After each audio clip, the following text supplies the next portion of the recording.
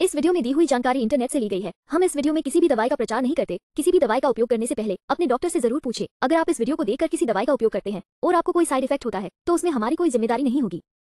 Shrida charcoal green tea साबुन एक कायाकल्प करने वाला साबुन है, जो सक्रिय चारकोल पाउडर और ग्रीन टी पाउडर के गुणों से भरपूर है।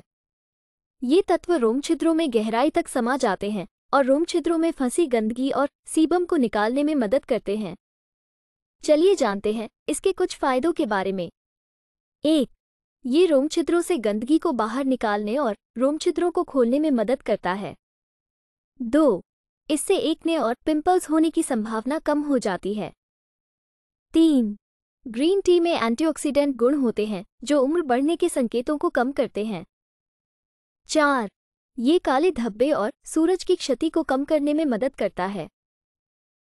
वीडियो को पूरा देखने के लिए धन्यवाद। अगर आपको वीडियो अच्छी लगी हो तो वीडियो को ज़रूर लाइक करें। साथ ही हमारे चैनल को सब्सक्राइब करके, नोटिफिकेशन बेल को और नोटिफिकेशन पर सेट करें।